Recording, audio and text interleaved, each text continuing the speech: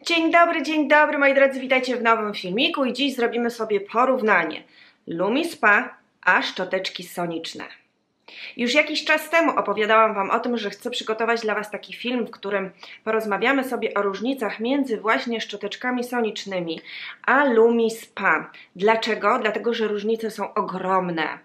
I czasami gdzieś pod filmami widzę Wasze komentarze, czasami gdzieś piszecie mi w wiadomościach prywatnych na Instagramie, że wolicie szczoteczkę soniczną, bo coś tam, że zastanawiacie się, no dobra, tutaj oczyszczanie takie, oczyszczanie takie, o co tutaj w tym wszystkim chodzi. Więc stwierdziłam, że czas najwyższy zrobić dla Was taki film.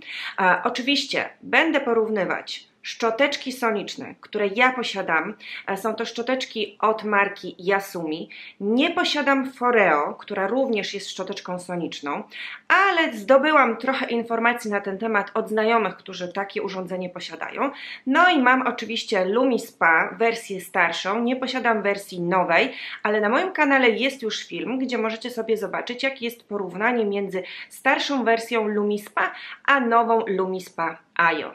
No dobra, zaczynamy. I zaczynamy od pierwszej, takiej myślę, że podstawowej i najważniejszej kwestii. Lumi Spa to nie jest szczoteczka.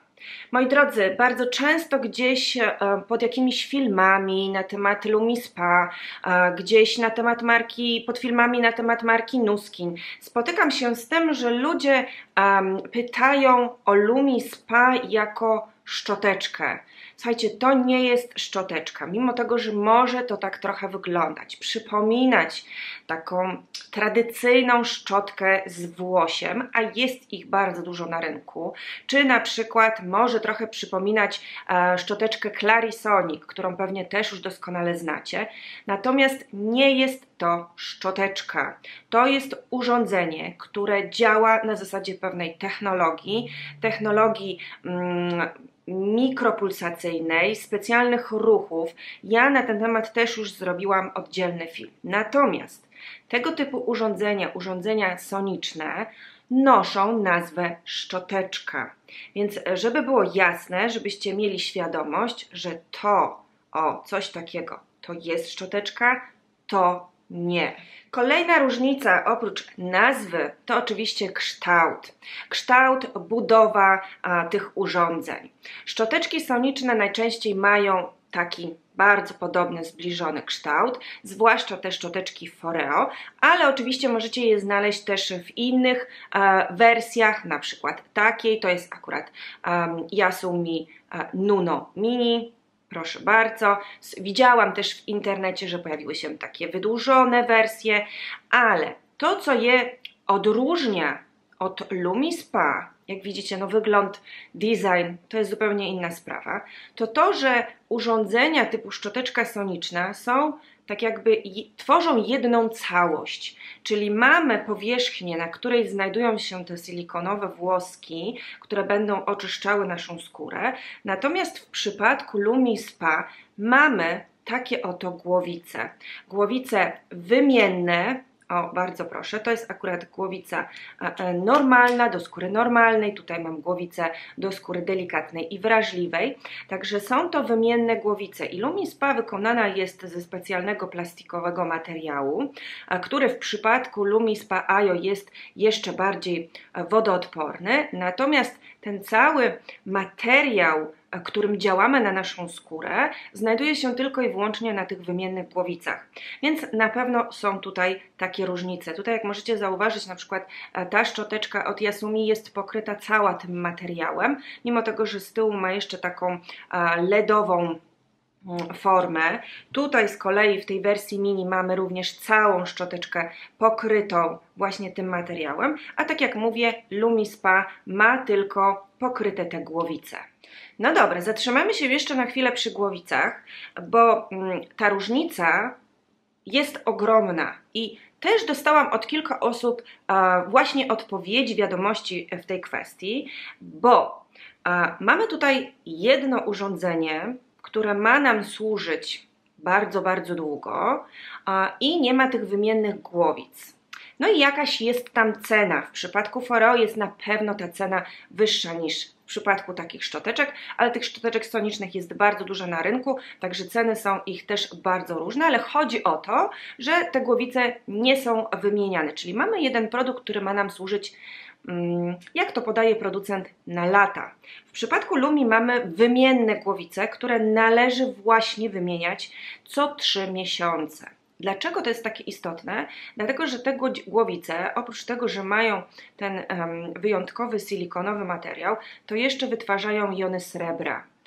No i tak to niestety jest, że w okresie tych trzech miesięcy one jakoś tam sobie działają, ale później już jakość tego materiału jest gorsza. No i co za tym idzie, ten materiał się zużywa i też nie wytwarzają się te jony srebra, więc jeżeli mamy korzystać z produktu, który ma jakąś jakość i też ma nam dawać wyczekiwane efekty, to musimy pamiętać o wymianie tych głowic. No i oczywiście taka głowica też kosztuje.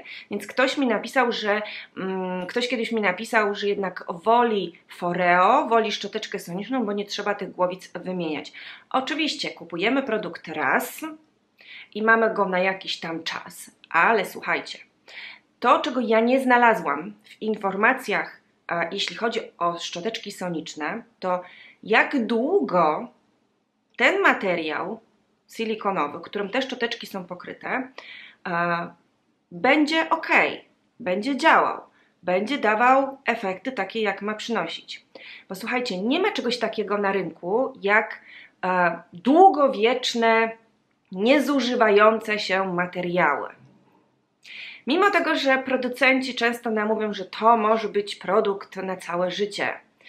No nie do końca, słuchajcie, tak jest, bo on się mimo wszystko, kiedy go stosujemy, kiedy go używamy, on się zużywa. Ten materiał też się zużywa. Tak jest w przypadku wszystkich materiałów na świecie. Słuchajcie, ja tak sobie patrzę tutaj, bo stoją przede mną, e, stoi przede mną stół, e, przy którym mam krzesła wykonane z poliwęglanu, o ile się nie mylę. To jest taki materiał e, przezroczysty plastik, który ma być niesamowicie wytrzymały, który ma się nie rysować i tak dalej. Słuchajcie, kosztują krzesła nie wiadomo jak duże pieniądze, a co się okazało? Okazało, to nie jest materiał, który się nie zużywa, bo materiał się rysuje. Mimo tego, że ma być najmocniejszy na świecie. Więc coś jednak pokazuje, że no jednak to wszystko się jakoś tam ze sobą łączy. Więc okej, okay. w przypadku mm, Lumispa mamy głowice, o których już producent nas e, informuje, że co 3 miesiące powinniśmy je wymieniać, no bo się ten materiał zużywa bo nie będzie już wytwarzał za jakiś czas tych jonów srebra, bo chcemy mieć gwarancję e, dobrych produktów, które będą dawały mm, efektywne działanie. W przypadku sonicznych szczoteczek takich informacji nie ma, więc miejcie to gdzieś z tyłu głowy, że ok, macie produkt jeden, który kupujecie w wyższej, niższej cenie, ale to wcale nie oznacza, że to jest produkt, który będzie działał Wam na całe życie i przez całe życie będzie przynosił takie same efekty. Kolejna sprawa, bo jesteśmy oczywiście przy tym materiale i tutaj też chciałam Wam zwrócić uwagę, bo um, materiał, z który, którym są najczęściej pokryte e, szczoteczki soniczne jest to silikon. W niektórych przypadkach jest to silikon nylonowy, w niektórych przypadkach może to być silikon medyczny. W przypadku Lumispa te głowice również wykonane są z silikonu medycznego. To jest bardzo dobry jakościowo materiał, ponieważ, tak jak wcześniej wspomniałam, on Wam gwarantuje dłuższą jakość preparatu, ale też jego higieniczność i działanie antybakteryjne. Wszystkie urządzenia, zarówno te szczoteczki soniczne, czy Lumispa, to są urządzenia higieniczne. Łatwo zadbać o ich czystość, łatwo je utrzymywać w czystości, więc tu jest na pewno coś takiego, co je tam ze sobą łączy. Natomiast Tutaj zatrzymamy się też na chwilę właśnie przy tym samym, samym materiale, bo jaka jest kolejna różnica między głowicami, z których wykonane są tymi głowicami Lumi, a takimi szczoteczkami sonicznymi, to oczywiście te włoski, tak, z którymi są te wypustki, że tak powiem, bo to nie są włoski, tylko to są takie wypustki, którymi są, które mają nam służyć do tego głębokiego oczyszczania. W przypadku Lumi Spa mamy do wyboru kilka rodzajów głowic, które są dopasowane do typów naszej skóry. Mamy głowicę do skóry normalnej, o, którą możemy również wykorzystywać na przykład a, przy skórze mieszanej do takiego mocniejszego oczyszczania, ale tak naprawdę przy każdym typie skóry. Mamy mgłowicę do skóry mm, takiej wrażliwej, delikatnej, która uwierzcie mi naprawdę w dotyku, jakbyście mieli okazję ją teraz dotknąć, jest wykonana niesamowicie z takich mięciusieńkich i delikatnych wypustek. Mamy również głowicę do takiego głębszego, mocniejszego oczyszczania. Mamy głowice przystosowane do skóry męskiej, która jest grubsza. Kiedyś zresztą Wam o tym opowiadałam, więc tam też to oczyszczanie jest zdecydowanie inne. I mamy również głowice e, do mm, mm, wykonywania tutaj działania w okolicy oczu. Jeśli rozmawiamy o szczoteczkach sonicznych, to najczęściej e, mamy w tych tańszych wersjach um, takie wypustki, które są przystosowane dla każdego. Natomiast jeśli zerkniemy sobie na Foreo, które jest jedną z najdroższych szczoteczek sonicznych, to mamy wersję do skóry mieszanej do skóry wrażliwej i chyba do skóry tłustej, o ile dobrze pamiętam. Czyli mamy trzy wersje. Ale co to oznacza? Że mamy trzy różne szczoteczki soniczne. Więc jeśli byśmy chcieli stosować na przykład w wieczornej pielęgnacji um, szczoteczkę, która działa mocniej, głębiej doczyszcza, to wtedy musimy postawić na taką, która jest wykonana na przykład z materiału, z tych wypustek przystosowanych do skóry mieszanej. Jeśli byśmy chcieli w pielęgnacji porannej, która nie musi być aż tak intensywna jak wieczorna, stosować szczoteczkę soniczną, to wtedy warto by było postawić na kolejną szczoteczkę soniczną, która będzie przystosowana do skóry wrażliwej. Czyli musimy kupić dwie. No i już w tym momencie mamy większą cenę. Natomiast w przypadku LumiSpa mamy jedno urządzenie, do którego możemy sobie dokupić tylko i wyłącznie głowicę i stosować je we dwie. Wtedy też automatycznie czas e, użyteczności takiej głowicy nam się wydłuża, bo jeżeli stosujemy w wieczornej pielęgnacji e, głowicę normalną, a rano głowicę delikatną, no to wiadomo, stosujemy ją mniej niż zaleca producent, więc mamy okres 6 miesięcy. To jest chyba logiczne, prawda? Także widzicie, coś za coś. E, tutaj musicie sami podjąć decyzję, co jest dla Was bardziej istotne, co dla Was wychodzi korzystniej cenowo e, i na co Wy chcecie zwracać uwagę. Czyli mamy podobny materiał, z którego są wykonane głowice, ale w przypadku Lumispa mamy więcej, ponieważ mamy te jony srebra, które fantastycznie działają na skórę, ale z drugiej strony musimy pamiętać o tym, że wymieniamy głowice. Jeśli chodzi o e, szczoteczki soniczne, no to tutaj już w zależności od tego, jaką szczoteczkę kupicie, jakiej marki, tańszą, droższą, z jakiego będzie wykonanego, mm, z jakiego będzie wykonana ona materiału, jak ją dopasować do typu waszej skóry. Lecimy z kolejnymi różnicami, bo jest ich dosyć sporo. Słuchajcie, kolejna kwestia to jest zdecydowanie użytkowanie takiego urządzenia. W przypadku LumiSpa producent zaleca nam stosowanie urządzenia dwa razy dziennie przez dwie minuty a, przy czym dzieli naszą twarz, twarz na cztery części po 30 sekund.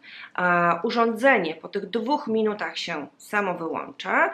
Um, no i tak mniej więcej wygląda ten proces. Oczywiście w przypadku Lumispa IO możemy sobie ustawić, wydłużyć ten czas lub też skrócić, bo tutaj już mamy bardziej rozbudowaną technologię, ale kolejny raz zapraszam Was do filmu, w którym e, już dokładnie były te różnice mm, podsumowane. Tam dowiecie się co i jak. Natomiast jeśli rozmawiamy o szczoteczkach sonicznych, to w przypadku takich szczoteczek sonicznych tańszych e, nie ma określonego czasu ich stosowania, a na pewno nie ma takiego podziału na części naszej skóry, więc możemy sobie szczoteczkę stosować ile chcemy.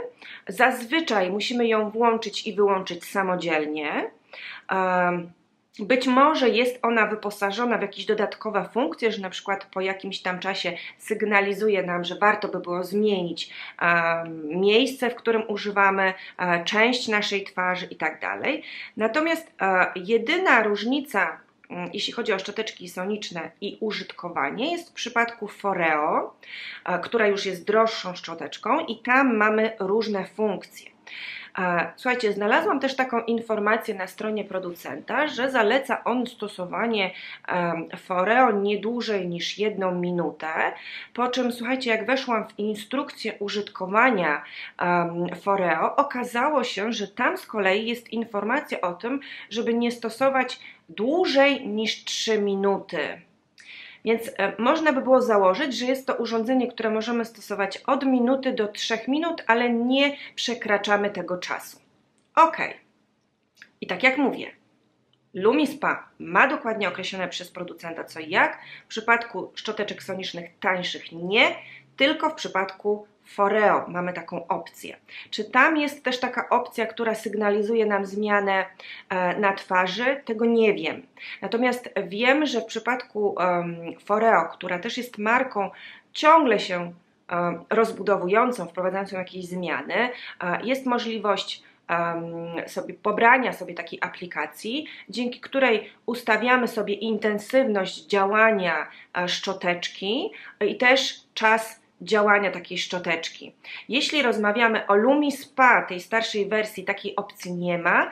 Przypadku LumiSpa IO już jest, czyli tam też pobieramy sobie aplikację, możemy sobie stworzyć własne programy oczyszczenia, dłuższe, krótsze, mm, na różne części e, naszej twarzy. Także tutaj można by powiedzieć, że mamy podobnie.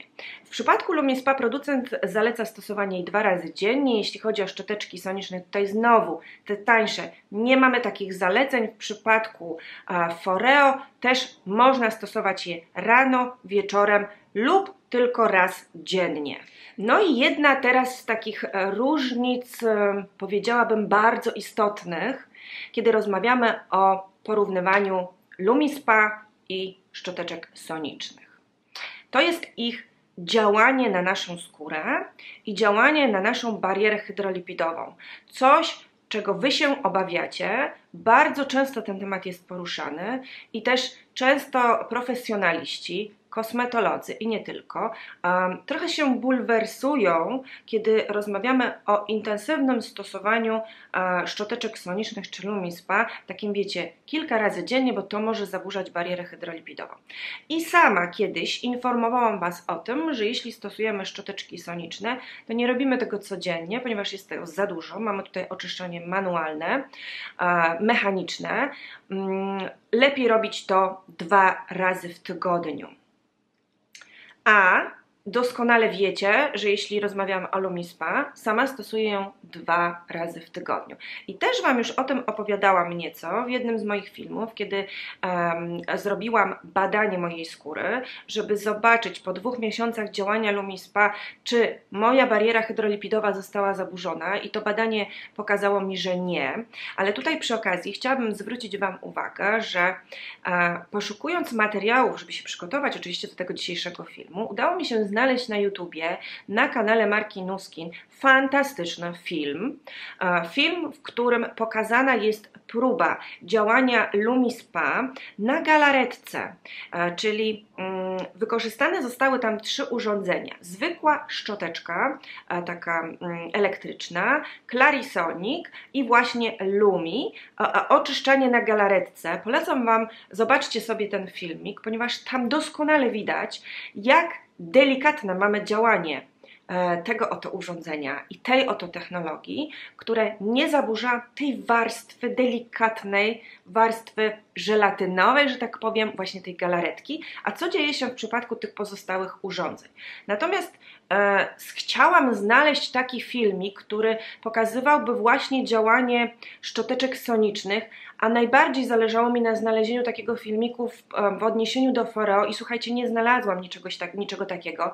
Jeśli Wy macie taki filmik, wiecie, gdzie można go znaleźć i tak dalej, to dajcie mi oczywiście znać w komentarzach. Natomiast no, ja tego nie znalazłam. I to też pokazuje mi trochę, że mm, nie ma takiego odniesienia w porównaniu szczoteczek sonicznych do bariery hydrolipidowej. Owszem, jeśli rozmawiamy o Lumispa, to wiecie, że Nuskin jest marką um, badawczą, ba, e, naukową, przeprowadza badania, jeśli rozmawiamy o urządzeniach, które produkuje, i na stronie producenta, ale nie tylko, możecie znaleźć um, odpowiedzi w stosunku do badań klinicznych, które zostały przeprowadzone e, przy tych urządzeniach. Podobnie jest z marką Foreo. Marka również przeprowadza badania kliniczne i też takie informacje możecie znaleźć. Nie znajdziecie takich informacji w przypadku tanich szczoteczek sonicznych. Tanich, takich, które są dostępne z różnych marek, um, ogólnodostępne w internecie i tak dalej. Takich badań nie ma. No więc trochę słabo, bo chcecie mieć szczoteczkę soniczną tanią, chcecie na niej zaoszczędzić, ale nie ma tej pewności, jak będzie ona działała na Waszą skórę. Wtedy lepiej by było zainwestować w Foreo, tylko że z drugiej strony też nie znalazłam takiego filmiku, który potwierdzałby działanie na tą barierę hydrolipidową. No i dlaczego Wam o tym wspominam? E, dlatego, że po pierwsze, Nuskin przeprowadziło badania, które pokazały, że Lumispa um, nie zaburza tej bariery hydrolipidowej, nie działa na, nie zaburza mikrobiomu naszej skóry. To jest udowodnione, to jest pokazane w badaniach, w wielu filmikach. To też sama sprawdziła na mojej skórze. Też dlaczego tak się dzieje? Ponieważ ta technologia działa na takiej zasadzie, że w momencie, kiedy przyciskamy zbyt mocno E, urządzenie do naszej skóry zbyt mocno, albo wykonujemy zbyt agresywne ruchy, które mogłyby spowodować właśnie naruszenie tej bariery hydrolipidowej, urządzenie nam sygnalizuje, zatrzymuje się, że robimy to źle. Wtedy musimy spowolnić ten ruch, żeby on był delikatniejszy, żeby właśnie tej bariery nie zaburzać. W przypadku zwykłych stronicznych szczoteczek takiej opcji nie ma. I teraz wyobraźcie sobie jak stosujemy taką tanią szczoteczkę? No właśnie tak, że nakładamy jakiś preparat myjący na naszą skórę, no i sobie tą szczoteczką, według nas, jak lubimy, można by powiedzieć, trochę szorujemy po tej skórze, bo czasami lubimy takie, wiecie, mocniejsze doczyszczenie. Czasami robimy to mocno, intensywnie, szybko, by szybciej tą naszą skórę wyczyścić. No i właśnie to może powodować, że zostanie ta bariera hydrolipidowa zaburzona. Właśnie to, że nie ma tej kontroli, słuchajcie, że nie ma tych badań, które pokazują nam, że uwaga, jest za mocno, jest za szybko, robisz to źle. W przypadku Lumis PAIO ten proces cały jest jeszcze fajniej pokazany, y, bo jest on połączony z aplikacją, mm, z głowicami, które też wysyłają informacje do naszego telefonu, do naszej aplikacji. No tutaj jest tego dosyć więcej, a w przypadku takich zwykłych szczoteczek sonicznych tego nie ma. Dlatego tak bardzo często mówi się o tym, że uwaga, jeśli wykonujemy takie manualne, mechaniczne oczyszczanie i nie mamy tej kontroli naszego ruchu, nie wiemy, czy to jest za mocno, czy to jest za szybko, może dojść do uszkodzenia tej bariery hydrolipidowej. Jak jest w przypadku Foreo? E, nie wiem jak jest teraz, ponieważ wyszły nowsze wersje Foreo, wyszły też z jakimiś mikroprądami, z delikatniejszymi włoskami, e, z tą całą aplikacją i być może tam jest już taka możliwość kontroli, że widzimy, że na przykład za mocno doczyszczaliśmy zbyt intensywnie. Nie wiem też, czy te najnowsze wersje Foreo sygnalizują nam, że robimy to źle, ale w przypadku starszych wersji takiej opcji nie było. I e, to też sprawiało, że bardzo często mówiliśmy o tym, że no nie, stosowanie codziennie takiego oczyszczania jest podobne jak stosowanie mechanicznego peelingu, czyli robimy tego za dużo, nie kontrolujemy tego, nie mamy nad tym kontroli i to może powodować, że dochodzi do zaburzenia tej bariery hydrolipidowej. Natomiast w przypadku Lumispa już w pierwszej wersji czegoś takiego nie ma. Tutaj ta kontrola jest Tutaj już urządzenie nam wszystko sygnalizuje, więc zobaczcie, marka od samego początku, badając swoje urządzenie, doszła do tego, jak sprawić, żeby urządzenie było efektywne, ale żeby właśnie nie zaburzało tej bariery hydrolipidowej. To też przyznam się Wam, sprawiło, że między innymi ja zdecydowałam się na testowanie tego urządzenia i sprawdzenie, czy rzeczywiście tak jest. I badania potwierdziły, że jest ok, że nie ma tej zaburzonej bariery hydrolipidowej. Cały czas stosuję, odkąd kupiłam sobie to urządzenie, dwa razy dziennie i słuchajcie, no nie ma tej bariery hydrolipidowej, zaburzenia. Ja widzę to po mojej skórze, widzę, że jest w porządku, nie ma tego ściągnięcia, nie pojawiają się takie wypryski, kiedy ta bariera jest e, zaburzona, nie pojawia się suchość skóry, jest naprawdę ok. Myślę, że takie najważniejsze informacje Wam już dzisiaj przekazałam. Oczywiście mamy różnice cenowe, o których też mówiłam przez cały film, no bo mamy tanie szczoteczki soniczne, mamy Foreo, która kosztuje powiedzmy tam do około 800 zł, no i mamy Lumi Spa, która kosztuje ponad 1000 zł. A to do Was należy decyzja, na jakie urządzenie chcecie się zdecydować, co wolicie w swojej pielęgnacji i jak przede wszystkim będziecie je używać bo jeśli postawicie na tanie szczoteczki soniczne, to miejcie na uwadze właśnie to, co powiedziałam przed chwilą o tym zaburzeniu bariery hydrolipidowej, za intens zbyt intensywnym oczyszczaniem Waszej pielęgnacji. Jeśli postawicie na Foreo, to może warto by było się zastanowić i sprawdzić wszystkie te funkcje, o których Wam dzisiaj powiedziałam. Czy one są, jaka jest właśnie ta szczoteczka i a, jak będziecie ją wykorzystywać w Waszej pielęgnacji, jak będziecie ją stosować. Natomiast wybierając Lumispa, już wiecie na co się decydujecie. A, czy zdecydujecie się na wersję e, tańszą, starszą, czy zdecydujecie się na wersję nowszą, która jest nieco droższa, um, będziecie wiedzieć, co kupujecie, jaką jakość, a, jakie głowice, jaki materiał, a, jak jest przygotowany ten dany produkt. Pamiętajcie o tym, że oczyszczanie w naszym, naszej pielęgnacji to jest podstawa, żeby skóra przyjmowała odpowiednią ilość składników aktywnych, żeby kosmetyki, które stosujecie w waszej pielęgnacji, rzeczywiście przynosiły efekt, żeby działały, żeby osiągnąć to, na czym nam zależy, e, musimy postawić na dobre oczyszczanie.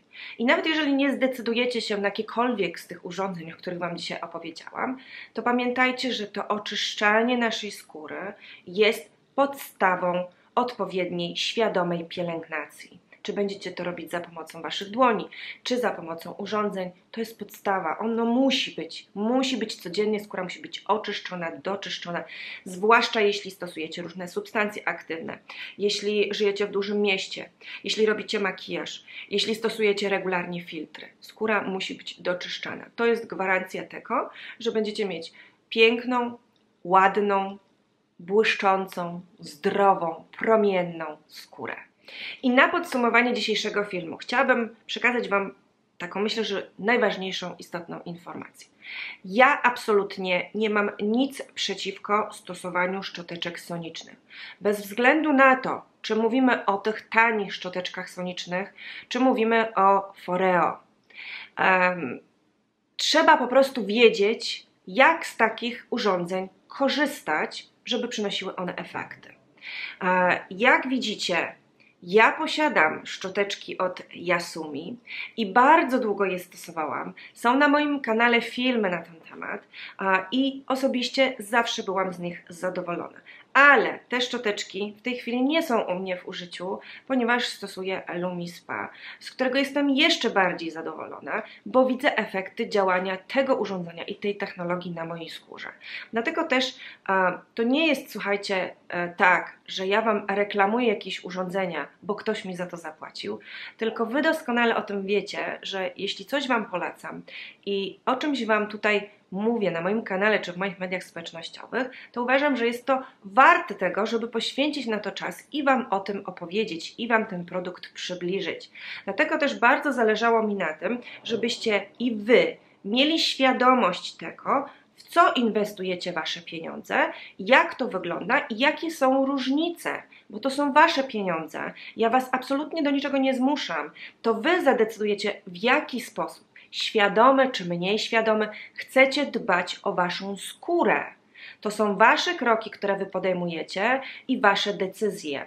Ja po prostu daję Wam jakąś opcję i mam nadzieję, że dzisiejszym filmem też pokazałam Wam, dlaczego sama zdecydowałam się na stosowanie Lumispa, jak to jest w porównaniu tych dwóch urządzeń i jak Teraz mam nadzieję widzicie, jakie są ogromne różnice pomiędzy nimi, czy to w materiałach, czy w samej budowie, czy w zastosowanych technologiach, tu mamy technologię soniczną, tutaj mamy zupełnie inną technologię. Jakie to są różnice, jakie są głowice, ceny i tak dalej. Więc mam nadzieję, że rozwiałam Wasze wątpliwości i tym samym dziękuję Wam bardzo za poświęcony czas, za to, że byliście tutaj po raz kolejny. Trzymajcie się ciepło. Jeśli macie oczywiście jakieś pytania, to piszcie w komentarzach, a my widzimy się w kolejnej publikacji. Do zobaczenia. Pa!